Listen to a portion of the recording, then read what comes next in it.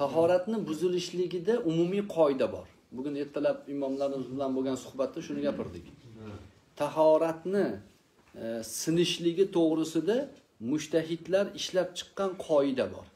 O'sha qoida ba'zi hadis yoki ba'zi oyatlarni o'zidan emas xulosa. U qoida tahoratni sinishiga aloqador hamma oyatlar tahoratni sinishiga aloqador hamma hadislar va sahobalarning amallaridan kelib chiqib olingan xulosa. O'shaning uchun qoida muqaddam turadi. Qoida nima? Insondan najosat chiqsa tahorat sinadi. Najosat bo'lmasa tahorat sinmaydi. Ko'z yosh chiqsa tahorat sinmaydi. Tupurgidan tahorat sinmaydi. Chunki najas emas bular. Sut ayol kishi suti chiqsa tahorat sinmaydi. Nimaga? Najosat emas ular. Lekin najosat chiqsa sinadi. Najosatni odatiy holda chiqadigan o'rni bor yoki odatdan tashqari badandan jasaddan chiqadigan najosatlar bor. Qon najosat yiring najosat. O'sha najosatni chiqishligi e'tibori bilan tahorat sinadi. Endi yel chiqsa tahorat sinadimi desa yel chiqsa tahorat sinadi. Bu ham qoida. Yel chiqsa tahorat sinadi. Endi uxlasa tahorat sinadimi desa uyqu tahoratni sindirmaydi aslida. Chunki qoidada gap yo'qda. Uxlaganda najosat chiqmaydi. Uxlaganda insondan yel chiqqani aniq emas to'g'rimi? Lekin uxlagan odam yel chiqqan chiqmaganligini eslay oladimi desa eslay olmaydi. Shuning uchun ehtiyot yuzasidan uxlagan odam suyanib uxlagan bo'lsa suyanib turgan narsasini olib tashlasangiz o'zini ushlab turolmaydigan darajada uxlagan bo'lsa yiqilib tushsa demak u yel chiqib ketganini ham eslolmaydi endi u. Shuning uchun tahorat singan deyiladi. Qoidaga ko'ra uyqu emas uni sindirgani. Yel chiqib ketgan ehtimol tahorat sindiradi.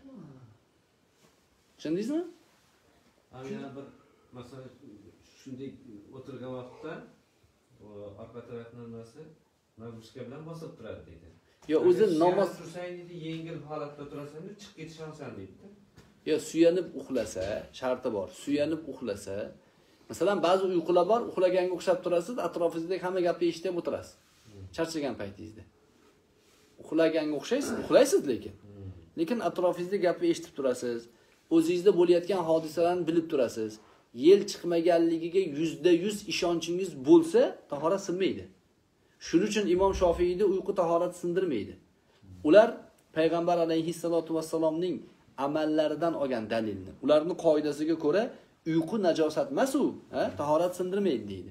Va dalil deydi. Payg'ambar alayhissalom bomdodni sunnatini o'qidilar. Oysha onamiz bilan gaplashdilar. Ozgina keyin yonboshlariga yotdilar uxladilar. Hatto xurrak uxlagan ovoz eshitildi. Rasulullohdan uxlaganlik ovozlari eshitildi va turdilar borib bomdodni o'qidilar tahorat qilmadilar hadis bu mana shuni keltiradi endi hanafiylar biz hanafiylarmiz hanafiylarga savol chiqdi mana sahih hadis uxlasa tahorat sinmaydi deb odamlar yuribdida hozir Ha, bunga nima deymiz? Hanafiylarni ham gapi quvvatli. Hanafiylarga u hadis yetib bormagan deyapti bittasi. san qayerdan bilasan yetib bormagan? Sanga yetib bormagan. Hanafiylarga yetib kelganligi. To'g'rimi? Hanafiylarga bu hadis yetib borgan. O'sha gap sanga yetib bormagan. Nimaga olmagan? Ha, ana bu savol to'g'ri endi. Nimaga u hadisni olmagan desa, chunki Hanafiylar boshqa hadisni ham e'tiborga oladi. Bu hodisa Rasulullohga tegishli hodisa. Chunki ikkita farishta keldi payg'ambar alayhissalomdan hadis bor sahih imom muslim buxoriyda rivoyat keldi payg'ambar alayhissalotu vassalom uxlab yotuvdilar bittasi aytdiki bu odam uxlayapti dedi ikkinchisi aytdiki bu odam uxlasa ham dedi qalbi uxlamaydi dedi. Ko'zi uxlaydi lekin qalbi uxlamaydi dedi. Payg'ambar alayhissalotu vassalom har doim uxlasalar qalblari uxlamas edi. Ko'zlari uxlardi. Qalbi uxlamagan odam sergak odam degani. U odamdan yel chiqqan chiqmaganini sezadi biladi u. U g'aflat bilan uxlamaydi. Payg'ambar alayhissalomda g'aflat yo'q. Demak bu hadis rasulullohga tegishli. Yana hanafiylar aytadiki yana bir hadis bor. Boshqa roviylar rivoyat qilgan sahih rivoyat. Unda nima deyilgan? Ko'z insonning orqa tarafini bog'ichiga o'xshaydi. Ko'z yumilsa bog'ich yechilib ketadi degan. Bu insonlarga tegishli, hammamizga tegishli. Uxlagan odam, haligi aytganimdek, aniq uxlaganga o'xshab turibsiz. Xurragan otdingiz deylik, lekin atrofingizda bo'layotgan gapni bilib turibsiz, kirgan chiqqanini sezib turibsiz. Bu sizni o'zingizga tegishli narsa. Nima gap haqida ketyapganini bilib turibsiz. Yel chiqmaganiga 100% ishonchingiz bor, tora sinmaydi. Sinmaydi, lekin qoidaga ko'ra ko'z uxladimi, tahorat singanlikka hukm qilgan afzal. Chunki ibodat masalasi ehtiyotni talab qiladi, ehtiyot chorasini. Bilmaysizki, betahorat namoz o'qisangiz nima bo'ladi? Namoz namoz bo'lmaydi. Har doim aytishdan charchamayapman. odamlar ham eshitishdan charchamayapti. Shu o'rinda paypoqqa mahs tartish masalasi. Ehtiyot chorasi sifatida ham odamlar o'ylab ko'rmayapti, paypoqqa mahs tortayotganlar. Keskin aytyapti, butun ulamolarning ittifoqi bor. Bugungi kiyib yurgan paypoqlarimizga, oddiy paypoqqa mahs torsa tahorat tahorat bo'lmaydi. Bu degani namozing namoz bo'lmaydi degani.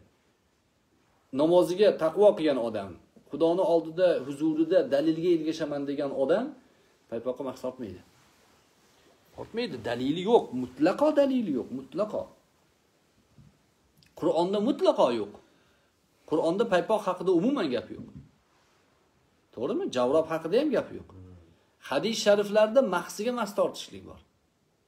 Javrob haqida bitta odamdan rivoyat bor, 60 ta rivoyat mahsiga mas tortin degan.